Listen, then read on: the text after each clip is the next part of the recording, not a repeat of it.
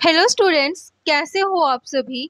आज मैं आपके यूट्यूब चैनल इजी बायोटीच पर लेके आई हूँ एग्रीकल्चर माइक्रोबायोलॉजी की unit number third soil microbiology का topic formation and composition of soil organic matter matter that is fulvic and humic acid सबसे पहले हम देखेंगे सोयल क्या होता है और सोयल प्रोफ़ाइल और फिर उसके बाद हम देखेंगे डिफरेंट होरिजन्स उसके बाद हम देखेंगे formation and composition of soil organic matter क्योंकि जो होरिजन्स हैं, वहाँ से क्वेश्चन पूछे जाते हैं कि कौन से होरिजन के अंदर कितना ऑर्गेनिक मैटर प्रेजेंट होता है।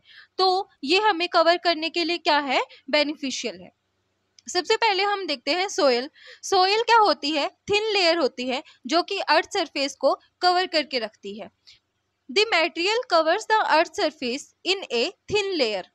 Any part of the earth surface that support vegetation also wear a covering of soil जो अर्थ का कोई भी पार्ट है अर्थ सरफेस का कोई भी पार्ट जो कि वेजिटेशन को सपोर्ट करता है, वो क्या करके रखता है? कवरिंग ऑफ़ सोयल को बियर करके रखता है। Soil contains for many components that is inorganic material organic matter and water and air. अब हम देखते हैं soil profile it is the vertical section through the soil and extended into the unweathered parent material and exposing all the horizons इसके अंदर क्या होता है? सबसे पहले बेड रॉक प्रेजेंट होती है। उसके अंदर क्या होता है? सबसे ज़्यादा क्या होती है? जैसे कि जो रोड़े वगैरह प्रेजेंट होते हैं। ईट मिट्टी वगैरह क्या होती है? प्रेजेंट होती है। तो उसको हम क्या बोलते हैं? बेड रॉक बोलते हैं। उसके अंदर भी कोई भी प्लांट ग्रो नहीं कर सकता। उसके बाद क्या होता है? जैसे जैसे हम ऊपर की तरफ़ होरिजन बढ़ते जाते हैं, वैसे वैसे आते हैं तो क्या होते हैं? जैसे कि जो रोड़े वगैरह होती हैं, ईटे वगैरह, उनकी जगह क्या होते हैं? थोड़ी थोड़ी मिट्टी आनी शुरू हो जाती है। तो वहाँ पे क्या होते हैं होरिजन क्या होते हैं, बढ़ते जाते हैं।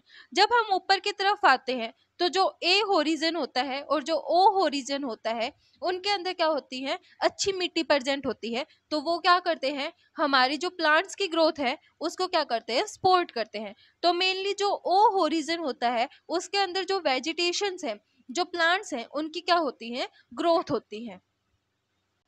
अब हम देखते हैं होरिजन्स सबसे पहले आता है O horizon it is the organic layer made of wholly or partially decayed plant material and animal debris ये क्या है? ऑर्गेनिक लेयर है, जो कि किससे बनी हुई है?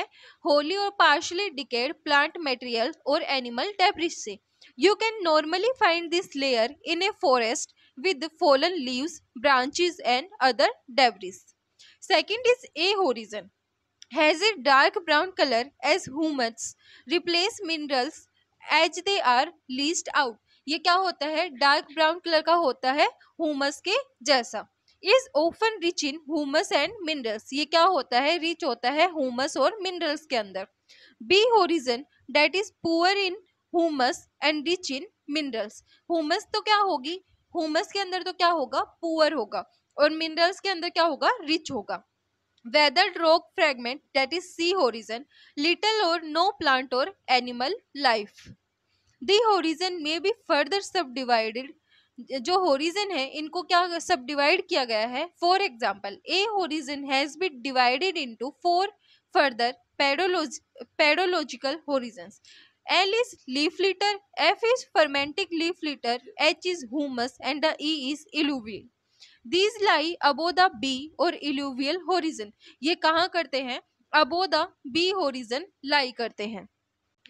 अब हम देखते हैं soil humus humus is the organic residue in soil जो हुमस है, वो क्या है? ऑर्गेनिक रेजिड्यू है सोयल के अंदर, जो कि रिस्पॉन्सिबल होता है for the decomposition of plant and animal residue in soil Humus is the organic residue in the soil, resulting from decomposition of plant and animal residue in soil.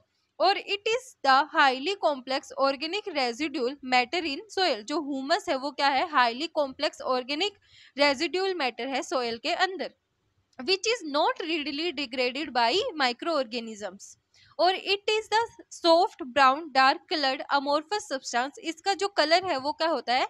Brown dark colour का होता है। Composed of residual organic matter along with dead microorganisms.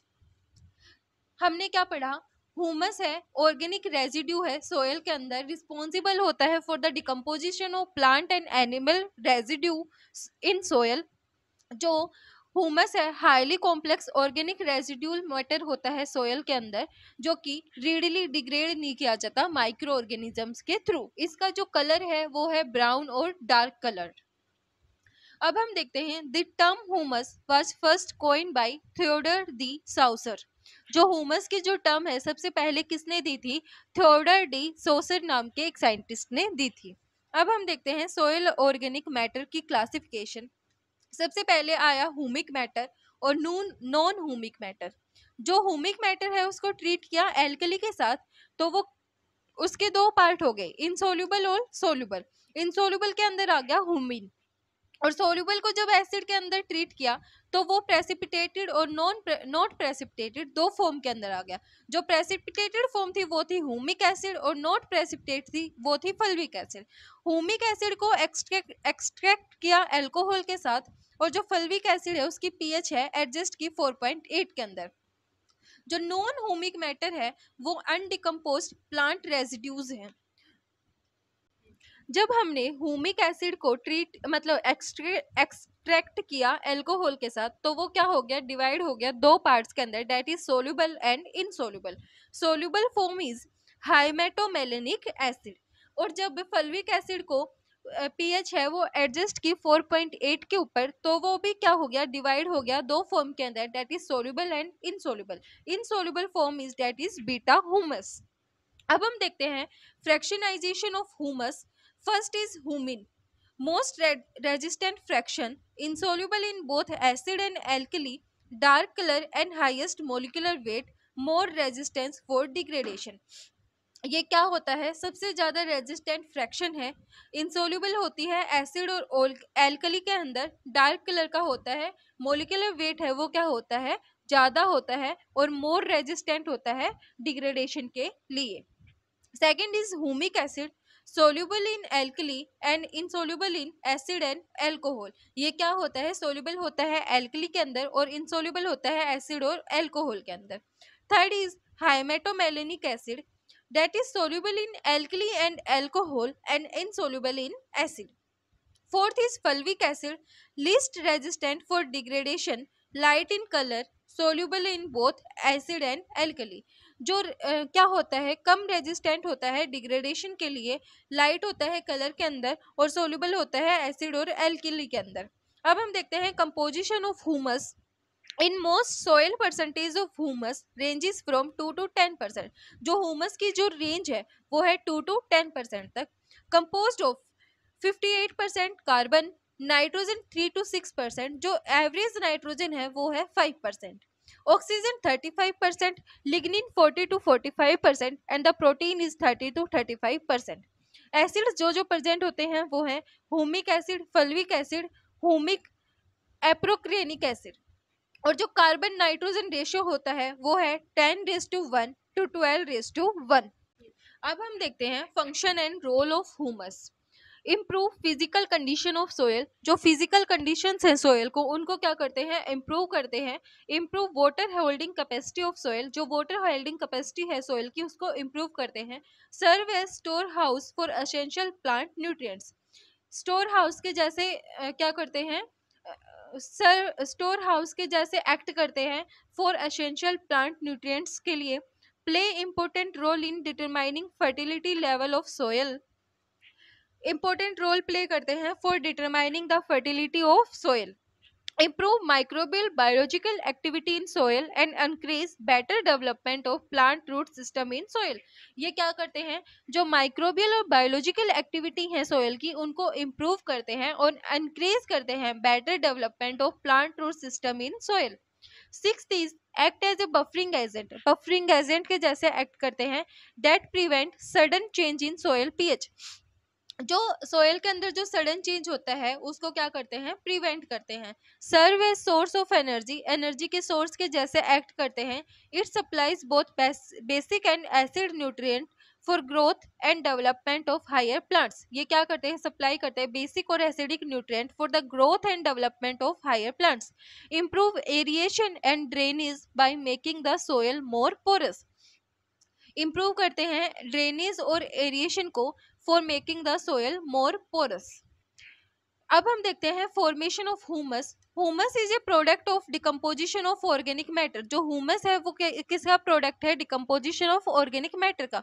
By the time plant and animal matter become humus जो time के साथ साथ जो plant और animal matter है, वो क्या बन जाते हैं? हुमस बन जाते हैं.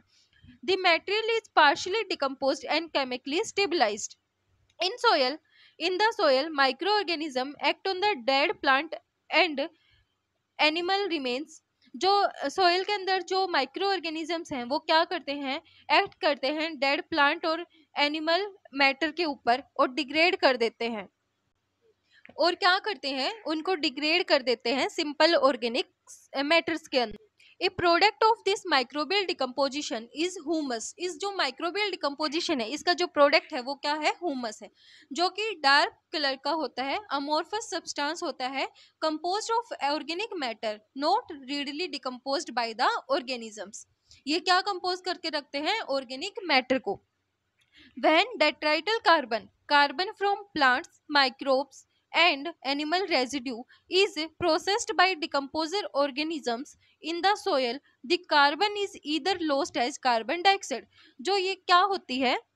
जो डेट्राइल, डेट्राइटल कार्बन है, वो किसके अंदर डिकम्पोज हो जाती है? मतलब किसके अंदर लोस्ट हो जाती है? कार्बन डाइऑक्साइड के अंदर। Incorporated in the soil of a decomposer organism or enter a carbon pool और किसके अंदर एंटर कर जाती है? कार्बन पुल के अंदर एंटर कर जाती है। That is relatively stable either as a result of physical protection from attack by decomposer or chemical protection physical protective organic matter is related to structural characteristics of the soil और जो chemical protected organic matter है, वो किससे related है? Chemical processes of the soil and refer to as soil humus note incomplete decomposition of detritus leads to production of humus in an ecosystem जो जो detritus है, उनकी इनकम्प्लीट डिकम्पोजिशन होगी तो उसका क्या मतलब है? जो प्रोडक्शन है हुमस की इकोसिस्टम के अंदर, वो हो जाएगी। Under less than ideal conditions for decomposition, a portion of the litter entering the soil system is not completely decomposed. जो लीटर का जो पोर्शन है एंटर करेगा सोयल सिस्टम के अंदर वो क्या होगा कंप्लीटली डिकम्पोज नहीं होगा but is modified into but is modified into humus लेकिन ये क्या हो जाएगा मॉडिफाइड हो जाएगा हुमस के अंदर The first and most important aspect of humus formation is shredding of organic matter which will be performed by Sparophagus fauna. जो first और most important aspect है humus formation का वो क्या है shredding of organic matter जो कि perform करते हैं Sparophagus fauna that is earthworm, millipedes, snails and Chytridius. It is found that 90% of the organic matter has been processed by two of these animal group that is Enchytraeus and earthworms. अब हम देखते हैं decomposition process from litter to humus has two two stages in the first stage there is a rapid loss of soluble जो solubles हैं जैसे कि sugar starch protein उनका क्या होगा? रैपिडली लॉस होगा। फॉलोड बाय सेलुलोज जो कि किससे फॉलो किया जा, जाएगा? सेलुलोज से। but a little loss of or sometimes even gain of lignin insoluble decay products during this stage carbon is relatively available and nutrients are limiting and there is immobilization of the nutrients such as nitrogen once the liter reach to the second stage जब litter second stage के अंदर चला जाएगा it can be considered as a humus इसको हम consider करेंगे किसके जैसे? हुमस के जैसे। It has stabilised content and low decomposition rate इसके पास क्या होगा? स्टेबलाइज्ड कंटेंट होगा और लो डिकम्पोजिशन रेट होगा। During the late stage of decay there is net loss of lignin and nitrogen mineralization आज का हमारा टॉपिक इतना ही था। वीडियो पसंद आए तो लाइक शेयर एंड सब्सक्राइब ज़रूर करना।